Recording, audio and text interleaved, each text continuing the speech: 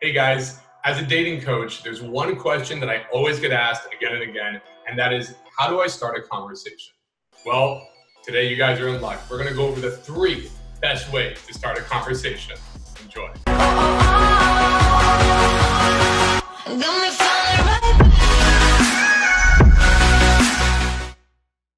The way to start a conversation, the three different ways, I'm gonna break it up as a, if you're a newbie, just starting off, if you're more like intermediate, you have some experience, but you know, still not doing things the right way. And then if you're advanced and you've got a lot of these systems down, you can hold a conversation and you kind of know what you're doing, but you want to still make things work at a higher level, okay? For my newbies out there, the best way to start off, number one, if you're completely brand new, is something really easy. It's called a compliment starter. You basically just look the girl up and down, what's going on, and you find something that you sincerely like about her. And the trick is two things. You have to actually sincerely mean it. It can't just be something generic like, wow, I like your booty, or wow, you're so pretty, okay? This means nothing to a girl. They get catcalled and told how pretty they are all the time, right? But if you just take a second and look, chances are that there's something that you like, okay? The second trick to that is it should be something that she invested some time into.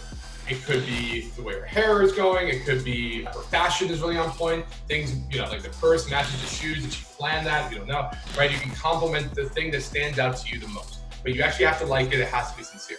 Okay. For instance, you know, a really great one you can use is if the girl obviously done her eyebrows, right? Never think about this, guys. You know, who's looking at eyebrows? But the girl's hair, it's mind-boggling. I'm telling you look out for the girl with like who has nice eyebrows, everything's you know plucked perfectly, and just say, wow, you have really nice eyebrows. Like they are on point. I have to give it up. Say that to her, she's gonna blow open. She's gonna be like amazed, so thankful. She's gonna instantly feel rapport with you. Uh, it's actually mind-boggling how well that one works.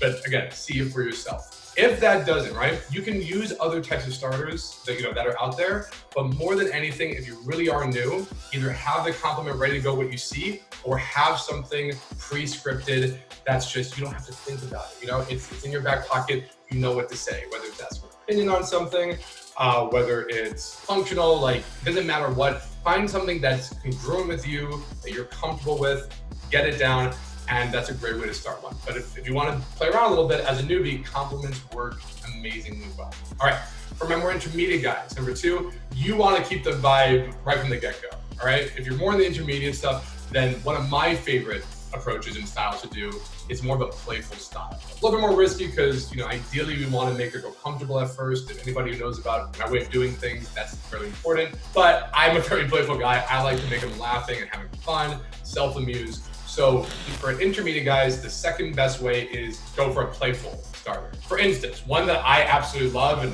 feel free to use and another one is, oh my God, you know what? I was gonna wear the exact same thing tonight. How embarrassing would that have been? Act like you both were gonna wear the exact same thing, and it just starts things off with this playful dynamic. It's not about lines, it's not about word for word scripts. It's just about starting things off without the whole feeling awkward or trying to get to know each other, making it so serious. It's just fun, right? The ultimate attraction switch at the end of the day is fun. If we can start the interaction strong, that initial impression, make it fun and laughter and just good times, then we are well on our way to building attraction and having an amazing interaction with the girl. For more advanced guys, if you look at the two ones beforehand, they're kind of scripted, right? It's a line you might know, either playful, compliments, and then canned whatever, it, it's still scripted. My more advanced guys, a great way to go about this is to just do something situational. You look it for a second. For new guys, you know, coming in, and even some of the intermediate ones, you want to just go. You got to get over the approach anxiety. You got to get comfortable taking action and doing the approach. For the more advanced guys, you can take a minute. It's okay. You can like kind of unlearn that and realize, you know what? Let me assess the situation. I'm not stalling due to anxiety. I'm stalling because I'm looking for the best approach, the best opening. What situation is going on? How do I use what's happening around in my environment to my betterment, to my advantage? So look at the situation, what's going on, and then, you know, due to all you know your experience playing around with it, play with the situation, but don't just comment. But a lot of guys mistake with this is they just comment on what they see. They just comment on the fact that like, oh, looks like you're reading something there, right? Like, don't comment on that. The proper way to do a situation observe, associate, and then make a statement or insinuate something, right? If you're in a bookstore and a girl's looking at a book, are they still bookstores? I don't know. But let's just say like you're in a bookstore and a girl's looking at a book, right? Don't be like, that's a book, obviously. Instead, you know, she might kind of reach it or look at one and go, oh, no, no, not that one. That's, that's not a good one. You're like, what, really? Yeah, no, no, no. You, you probably like this one better. Or I don't know, I've never read it, but I don't like the cover. you know, however you want to go about it, right? It doesn't, it doesn't really matter. The idea is you're playing with where her mind is at, what she's thinking about, and you're commenting on it. So maybe she, maybe you're at a club and she's looking at somebody dancing, and you'd be like, I don't know about those moves. I, you know, that person might need to like rethink some things. And she'll laugh and be like, yeah, like I was just watching that person dancing and oh my God, they're struggling out there. You're just seeing where her mind's at and you're making associations and you're giving your own fun uh, take on it. You know what? I'll tell you a secret, the fourth secret one, right? You have the three ones, beginner, intermediate, advanced, ways to start a conversation. But there is one way, the best, best possible way that starts a conversation. You know what that is?